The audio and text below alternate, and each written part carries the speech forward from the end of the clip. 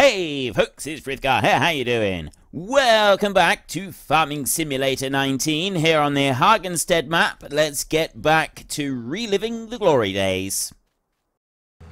So yeah, that's uh, AI vehicle extension. That's my thoughts with it. I don't generally use it for tractor work because it's not so good. There, there are points where it can be used. If I've got irregular shaped fields and I'm using three something that's mounted on the three-point links, I will usually set the AI vehicle extension going on the outside rounds of the field, and then I will switch it once I've done a few times around the edge of the field. I'll switch it over and I will use the standard in-game hired help to finish things off. I like the standard in-game hired help I find it is actually pretty good. And the thing that I like about the AI vehicle extension is it's got very few options. Mostly it's a plug and play situation. You install it, very few options that you've got to worry about, and you can just set it going like the standard in-game hired help. The big difference between using the AI vehicle extension and the in-game hired help together is uh, between those and Courseplay is that Courseplay requires quite a lot of knowledge of how that program works. And you've got to do a lot of work to set it all up. And that's the bit that I don't like about it. That's the that's the, the big thing that I don't like about it is how much you've got to do in order to get Courseplay to work in the first place. It's not a situation of you just come along and press a button. That's what happens with the AI vehicle extension. I have it on, it's on automatically, it's control H to switch between that and the standard hired help.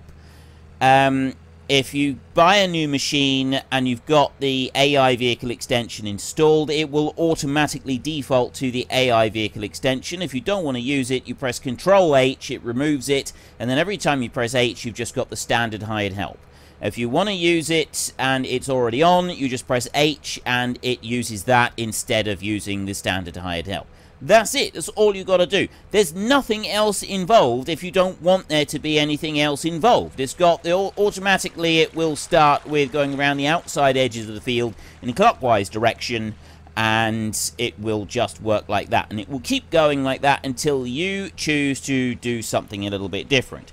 If I'm going along here and I press Control H, I've got these on here. I can't turn it on and off at the moment, but I've got that right there. I'll be doing it with the Combine in a minute. Actually, you know what? We'll go and do it with the Combine right now. Um, I've got to go and empty that Combine out, and then we'll switch it over so that it's working up and down the fields. And so you'll be able to see exactly how easy it is to change from going around the outside edge of the field to working up and down the field with it. I know that I'm preaching to the choir a lot here, and uh, most of you are already very familiar with the program and how it works and all its little quirks and, and so on and so forth. So I'm not showing you anything unusual, but anybody that is new to my channel, new to the series, um, and maybe you've not really looked at this program before. Now, I don't know if AI Vehicle Extension is currently on the Mod Hub or not. I don't actually know if it's there available or not. It may be, it may not be, I'm, I'm not really sure. So let me just swing this one on round here. And then I'm going to go and I'm going to switch on to the Combine over here. Right, now you can see at the bottom it's got AI vehicle extension. It will have that one up. Then what I'm going to do is I'm going to press... I want to change it now. It's going around and around in circles, and I don't want it to go around in circles anymore. I want it to start working up and down the field. So I'm going to press Control H, which is the automatic, the standard control for bringing up the panel here. So I've got that one, and I have a mouse cursor come up. Now I can switch it off like that, and that will just switch to the standard in-game AI and then the standard in-game hired help will take over. And that's something that I do quite often. Or I can do this, which is what I'm going to do with this one. I can press that once, and now this will start moving up and down the field. Now I can switch it again, and I can go that one straight like a normal worker, and that will just stay in dead straight lines working up and down the field without any deviation at all. Whereas if I go here up and down, it's using the AI vehicle extension to work up and down. And the difference between the two is the straight, like a normal worker, will go straight up and down regardless. The AI vehicle extension moving up and down anytime there is any movement on the side of the field, um, like there is just down this end, it will follow the edge of the crop. You will find over time in a larger field that it does tend to produce slightly wavy lines. However, if you've got a very large field, if you look at these trailers a minute, I'll show you what I mean. If you have a large, long field that's shaped like that, standard AI is not very good for a field that's shaped like that. I've had fields like this in previous games, but if you look at my tractor there, like in the trailers, like we got that curve. And you all, you've all worked fields like that in, there's a lot of maps that have got them, which aren't just all square fields, right? You have a longish field, but it's got a curve on it, like that. And it can be slightly annoying if you're just using the standard AI, because you can't put long straight lines from one end of the field to the other, right? Straight lines don't work very well in a curve field like that. The AI vehicle extension, however, is absolutely wonderful for that situation right there. It's absolutely brilliant. You've got the setting that I've got on now is work up and down the field. It's not telling it to work up and down the field in straight lines, it's just telling it to work up and down the field. So what it will do is it will follow the line of the field to the end, and then when it goes past a certain amount of turn on the end of the field, uh, it will then decide, right, actually, we do need to turn it round. So it will turn round like it's doing right now, and then it will work back up across the field. But it won't keep dead straight lines. So if you've got that banana-shaped field, like the trailers are here, it will follow the curve of the field from one end to the other.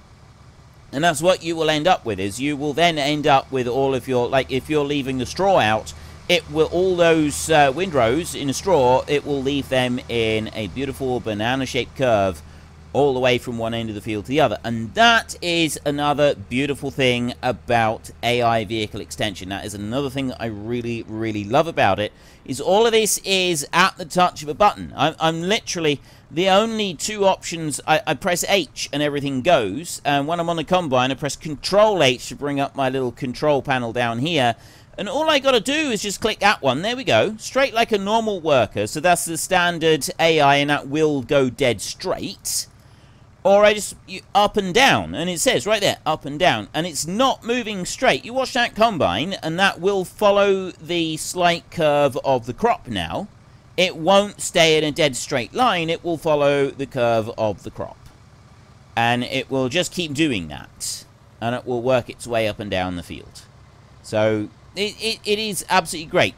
It will, over a very large field, eventually start to, like, it, it does start to become more irregular as it sort of works its way through the field in different ways. Um, and that can be something of a nuisance for some people. Some people don't really like that.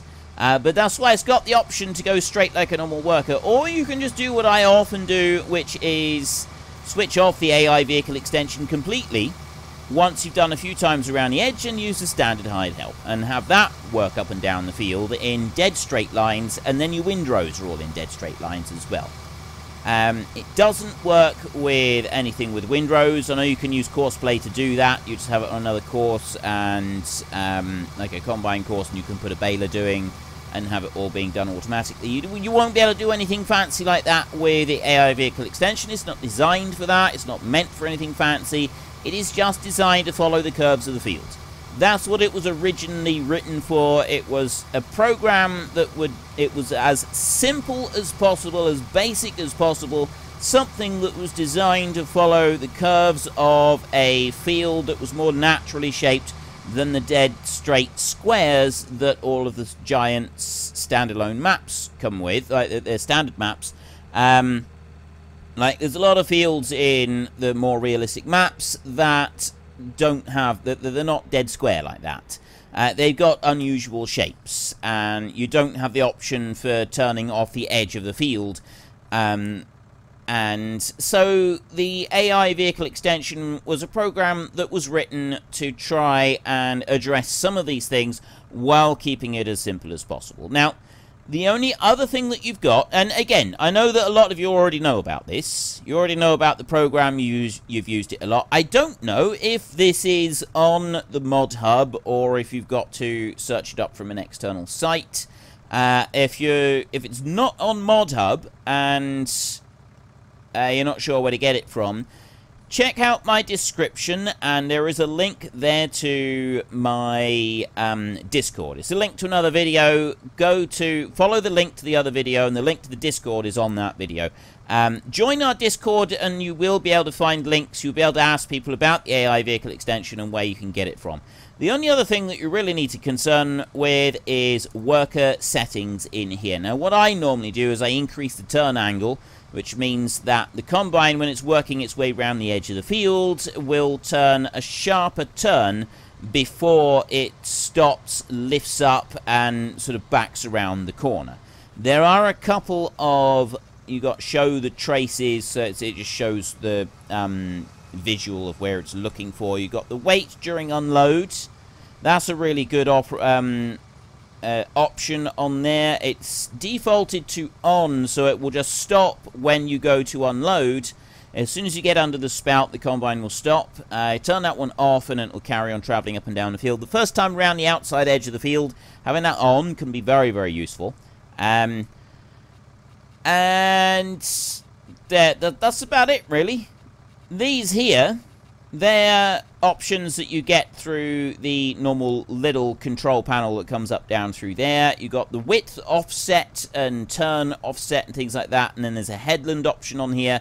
I've never actually played with these, so I'm not 100% sure what they do. So it just gives you something a little bit extra to play around with just to increase your options there if you want to. Uh, you can choose how precise you want the whole thing, and then you've got collision check here, which I think is only for other vehicles that will make it stop if it gets close to another vehicle. So anyway, that is the AI vehicle extension. I just thought I'd give that a little rundown because I've had a few people asking questions about it. Um, what's the advantages? Why do you like it so much? How is it possibly better than Courseplay? The main reason I like it more than Courseplay is because I don't have to worry about learning a new complex program. I don't have to worry about spending ages setting anything up, um, programming courses, uh, filling out hundreds of options, and then trying desperately to see if the balance is all right and everything like that. All I have to do with this one is click a button and then set it go and it works exactly the same way as the standard hired help, the only difference being it's following the curves of the field. That's what I like about it. It allows me to carry on and play the game rather than having to learn how to operate the whole new complicated program in order to play the game in a very, very different way. Um, so, I mean, the, it seems like Courseplay, uh, having done the whole series, the Alp series, we're trying to learn how to use Courseplay, and I did have some success in getting the courses set up and so on, but I still, even after doing it and, and learning how to get the courses going and successfully having courses running and multiple machines running together, I still don't like it. I still don't like the amount of work that's involved with getting it all set up. This, I can get it going, I've got that running, and I'm back to doing the farming tasks. I'm not doing anything else. I'm running around and I'm doing my farming tasks, which is what I like about the game anyway. I play the game to do farming simulator, not, um, you know, AI simulator. And that's kind of what Courseplay feels like. It feels like you're trying to learn how to program a computer rather than learn how to, uh, rather than just uh, driving the machinery up and down the field. So that's that's why I'm not a fan of Courseplay and what I really love about this. But anyway, I've rattled on about that long enough. I'm just going to unload... I was thinking I could try to fill this... I don't know if we're going to fill this trailer up. We need another thousand litres of beans to be able to fill up this front trailer. But we're going to have a full front trailer and a part full back trailer. Which means that we're going to be well, this just one trailer load is worth $30,000. We know that much. One trailer load, well, we're definitely not going to have the full 1,000 in here. We're going to get uh, 10,000 litres, but we're not going to get another 700 litres in here. Um, one trailer load is worth uh, $30,000. So I've got another 30 grand coming in, which means that I have got enough money already to be able to buy the combine and buy the standard header that it will need. The only thing that we don't have is the corn header that we're going to want for the next harvest. So we may end up having to do our next harvest with just the one combine. If we get enough, we may be able to go for a second header. But I'm not going to hold my breath on that one. if we've got enough Two and a half thousand there. If I was to go and sell that at the port right now for um two and a half thousand ish, um that's that's about five grand coming in. I got four thousand liters there at a thousand per thousand liters. Uh, fourteen hundred wheat will go up to, so we could do a bit better on that. And again, that's going to be, well, that's going to be six, maybe 7,000. So I'm looking at maybe 12,000 that I could get from the sunflower and a wheat that we've got here. And the header, the corn header that we've got, that's 45 grand, I think. Yeah, 45,000. That's the one that we've got right there. Which is a little bit expensive. I mean, maybe we could go with a corn champion. We could get a little one to go with the second combine. Maybe that would work. That might be an option for us. That'd be something for us to think about. Right, I'm going to jump down to you. We've now got this tractor upgraded. We've now got 105 horsepower on this little bad boy right here. Uh, we're going to run this one up to the top field. I'm going to start working up there. Cultivating is doing absolutely fantastic, and we've almost finished. So what I'm going to do there a second, I'm going to switch over to it. I'm going to turn off the hired help on here. See, I'm just using standard hired help here. I could use the AI vehicle extension, but there's no real point. There's no, there's not going to be any benefit to me using that. Um, it's only really if there's a really irregular shaped field. And with the implement being on the three-point links, it does tend to work better. Um, as I've said before, AI vehicle extension was never originally written with tractors in mind. And there have been some improvements with it with tractor work, but mostly if you can get it to I the, the, way I look at it is if you can get it working with the tractor and you can get it to do some of the jobs with the tractor and help out with that then excellent but look at that as a bonus it's really a program designed for combining all right um, and, and, and a bit about the combining is absolutely wonderful. It works really well with that, and it means that you've got your windrows sort of following the edge of the fields, and, and everything's looking neat and tidy all the way through.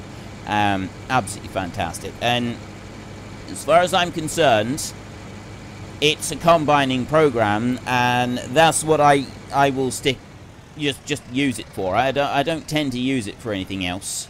Um, it goes. It's a harvesting job and a harvesting aid, and and that's what I just sort of leave it with. And I will stick with hired help with the rest of it. Or gen well, generally try to. Another thing with the AI extension is I don't think it actually works with some jobs. I have looked at trying to do some grass work like raking and that, and I don't think it actually does raking, and, and there's a couple of others that it just doesn't do anyway. Um, even though it will say there's an option, it just won't work. Um, so yeah, th there's definite limitations when it comes to tractor work, but with combine work, beautiful. I'm just following this one up through here just to make sure that it does cover all of it. There's a little bit rough back there. I think I actually fixed most of the rough patches down this end. So I'll let him come on all, all the way up through here like this. That combine. We'll run alongside the combine and we'll empty it out now, I think. Yeah, that one's fine down there. I'll leave that one where he is. And then you're fine up through there. It doesn't look like I've missed any patches. There is a way to find out. If I go into here and I zoom in like that. No, it doesn't look like I've left anything behind on there. Right. Okay. Now we will take this one along here so that we can fill up this front trailer and then we can start filling up the back trailer. We're not going to get a lot, but the 30 grand that we do get, because that header is going to cost us 30,000. And that's the 30 grand that we're about to take off right now. So we're going to buy the, we're going to buy this header first. Then we will go and do our planting. So there's that bit. How much more we're going to get will decide whether or not we're going to be able to afford a second corn header. I mean, I might... I'm, I'm actually seriously considering leasing one. I know it costs a bit of money, to, and I didn't really... I, I don't really want to do any leasing for the series, but again... I'm not going with hard and fast rules in this series. This series is more about I just do whatever I fancy doing on the day, and uh, just so long as I can keep enjoying myself and having a little fun. So I'm not going to be completely hung up on the no leasing. I just prefer not to lease. I would prefer to only buy. But for just to speed things along a little bit in places, like doing the corn harvest in a reasonable amount of time, I'm not averse to the idea of going and purchase, uh, going and leasing a second corn header just so that we can do the harvest, and then I can get rid of it afterwards. And by the time we get round to doing corn again, we could very well have upgraded our combines. However, upgrading our combines doesn't necessarily mean that we will be getting rid of those corn headers, because 6 meter corn headers will be good for several combines to go yet. If we look in here uh, we're running that one right there. The natural sort of progression for Combine upgrades really... I got the Rostselmash right there. So I've, I've got the smaller one. I kind of like the idea of upgrading to the next Rostselmash, actually. We, we go to that one right there. Uh, so if I go into there and I have a look down through, I've got the free flow. It's that Draper stream right there. It's a 9 meter header. It's a Draper header as well, which means that we don't need to worry about um, any trailers for it, which will make life very easy for us. And the recommended corn header for that combine right there. The DS900, the Helianthus 12,000 and the HS12. It is the bigger corn header. It's not this one. That's the HS8. The HS12 is quite a bit bigger. So we would end up selling all of the headers and we would go and buy this bad boy right here, which is a 9 meter header on there. And no, I don't want corn headers. Uh, standard headers here. The Draper Stream. That's a 9 meter header as well. And a Helianthus 1200 right there, which is a 12 meter sunflower header. I'm not sure about that one. I'm really not sure about that one. But that's kind of, I'm, I'm thinking that would be my natural progression, would be to go to that one. It's a $300,000 combine. Or I could go to the John Deere. I could come, I could go to that one right there. The only problem I've got with the John Deere, the bit that I don't really like about using that John Deere as my next option, is that uh, it's not that one, is it? That's the S790. Which one am I looking at? Uh, I was looking at the T the T560 right there. This is 625X. Uh, standard headers here. That one. A 7.6 meter header. Could probably get away without using a header trailer. That's the bit that I'm reluctant about, is the fact we'd have to use header trailers, and I don't really want to use header trailers. Right, you over here, you've got 1,400 litres of beans on board. We're going to take a little trip down there and just get that final little strip down that end. As you can see, the AI vehicle extension works the same as standard hide help. It's too far away from the line that it was harvesting. It will just say, can't do it, mate. Don't know where it is. Although it does it less with the AI vehicle extension than it does with standard hired help. Standard hired help can park up right next to a line and still not know where it is. Whereas the AI vehicle extension does tend to be a little bit more intelligent with finding those last little um, bits that sort of got left behind. So we got 1,500 litres of beans here, plus whatever we had in the trailer.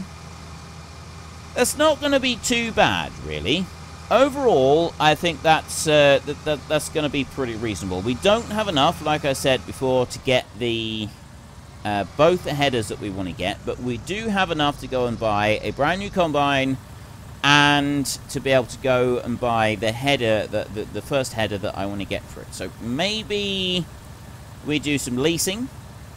And then we've got two combines that can work the corn harvest. Maybe we don't. I'm not quite sure at the moment. That's one that I'm still undecided on. I'm still trying to make my mind up on that one. Now, this combine here, I'm going to go and park it on the edge of the field, and I'm going to move it when I'm not doing other jobs. I've got other things that I want to do. I'm not going to start planting tonight, because I need... Oh, we've actually finished this one. I'll tell you what. As I finished, I'm going to take this one here. I'm going to drive it up to the other field so that we can get the cultivating finished tonight. And then we will be able to jump into the... It's. I need the big tractor to do the planting. It's the, the, the planter that we want rather than little seed drills. So I need that tractor to do the planting. And I don't really want to start this late in the evening. I'd like to start first thing in the morning. We could get some fertilizer spread onto the field now that we've done the cultivating and then go along afterwards and, and do something with it. I have had a comment saying that some people... There was only one comment, I think. It may, may have been another one, may have been a couple. Um, saying about the ploughing on the field. Right, let's drop that down there. Ploughing requirements. We've got ploughing requirement and lime requirement on our fields right here saying it needs lime and it needs ploughing. Now, I've turned off the requirements for those, but there are some comments saying that um, despite me having turned them off, the fact that they are there means that the game will still be giving us the deficit. Um, we will still be having the reduced yield on there until we do something about it. It's just not going to bring it back again afterwards.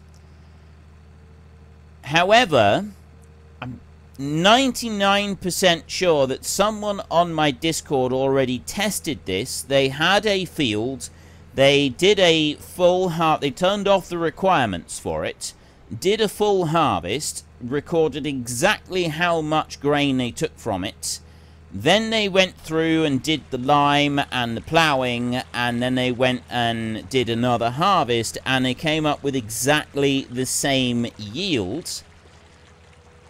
Um, as they did prior to doing it. And then they did it again, but they had the option turned on for needing um, lime and ploughing.